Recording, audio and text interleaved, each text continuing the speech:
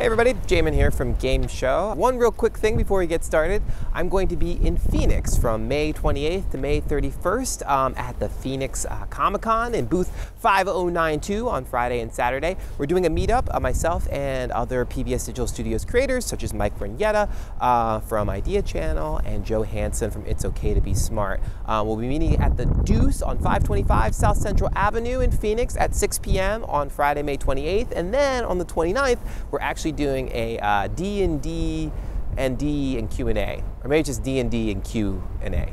Yeah, there's a lot of ampersands in there. Anyway, we'll be doing that in room North 228 again at Phoenix Comic Con on May 29th. I hope to see you there if you're there in Phoenix. Anyway, let's get into it. As you might have seen, perhaps, maybe, maybe not, every once in a while the New Yorker decides to do something about video games. Um, they've done some stuff online, a really long profile of, uh, of uh, Notch, uh, the creator of Minecraft. They did this very epic profile of Will Wright a bunch of years back, um, Cliffy B. So when the New Yorker decides to dip their toe into the world of video games, they tend to be very exhaustive, uh, which is kind of their thing. Anyway, so this week they did a story on um, on No Man's Sky, which is a game that you've probably heard me talk about. It's a huge, huge game, and they've uh, really dove in. So this is a big development because they talked a lot about sort of the size of the universe there. It's this infinite space exploration game created by Hello Games, one of my favorite uh, makers of games, the same people who made Joe Danger, and it's going to have 18 quintillion number of unique planets around it.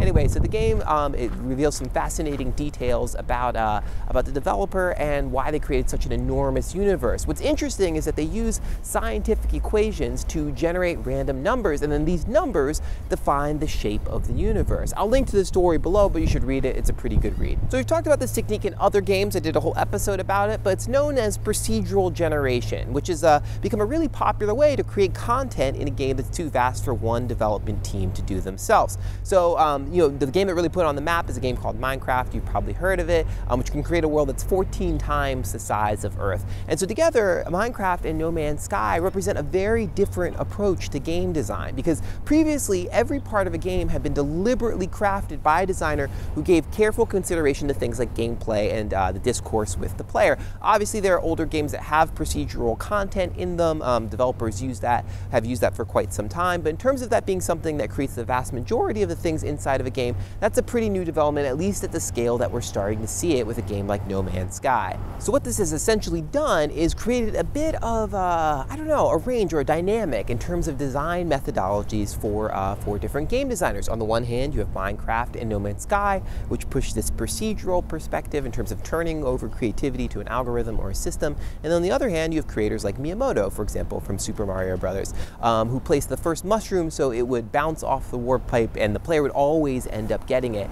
That was something that was sort of added to the game. They realized that this was so good that they would use it as a rule for the game. But Miyamoto has talked a lot about um, sort of having a very specific design perspective in which they don't um, they don't do a lot of playtesting. They sort of trust Miyamoto to create things themselves. So No Man's Sky is super interesting because I think it represents this sort of pivot point where all of a sudden the No Man's Sky team takes a top-down approach um, where it's mathematics that unfurls creativity. And in fact, the New Yorker article, Grant Duncan, who's the art director for the game, um, I actually did a piece on Grant for Killscreen that I'll link to in the description. He actually gets distracted by some of the things that get created inside of the game. So this is where things for me get really, really interesting as someone who looks at games. Um, you know, in our Minecraft episode, we questioned whether Minecraft and by extension No Man's Sky represented a paradigm shift. And paradigm shifts are an idea that were that were introduced by Thomas Kuhn in his book The Structure of Scientific Revolutions, and it refers to a new discovery or practice or theory that comes along and upturns the established assumption of doing things. What I'm curious about is why people are interested in No Man's Sky, and I'm curious, you know, because there isn't there hasn't been a lot of